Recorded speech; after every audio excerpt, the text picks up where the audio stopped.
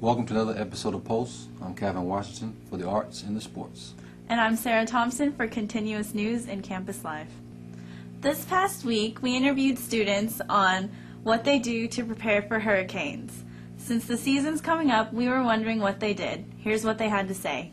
What do you do to prepare yourself for hurricanes? First of all, I would uh, stock up a lot of food from Walmart, maybe like perishables, uh, board my house with wood, and uh, buy a whole bunch of batteries and flashlights, and try to find a, a perfect route to move out to get out of Pensacola from any type of Category 5 hurricanes.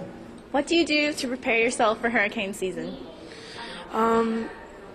I really don't um, prepare for hurricane season per se, but when a hurricane is coming, I usually, um, my family usually goes to the store and stock up on supplies, water, um, non-perishable food, and if the storm is like going to hit us, you know, from the weather channel, getting reports from the weather channel and stuff, we usually watch. Um, we usually board up and either try to wait it out or evacuate to another place. What do you do to prepare yourself for hurricane season? uh, move all the stuff that's not nailed down, um, stock up on batteries and stuff like that, perishable, unperishable items, and move to higher ground. Speaking of the end of seasons, I would like to take out a special shout out to the UConn Huskies and also to the North Carolina Tar Heels for winning the championship. Easter Sunday is upon us. So, do you have any favorite Easter moments? Um, actually, I think that this year is probably going to be the best because my dad is actually retiring from the Navy tomorrow. And on top of that, we're going to have a whole bunch of family come in. So, it's to be a feast. Are you going to have an Easter egg hunt? Mm, probably, but I will probably be the one hiding the eggs. Oh, okay. Mm. How about you?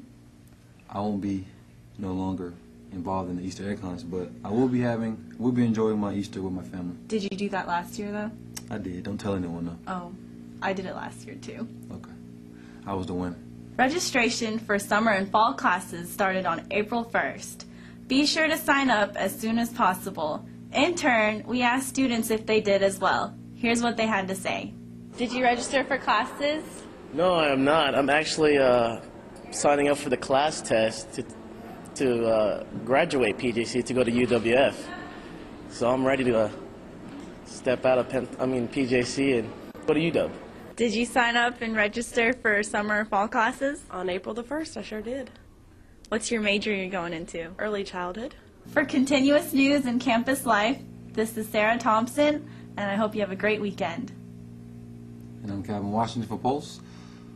The Pulse of the students and the heartbeat of PJC. Have a nice Easter weekend.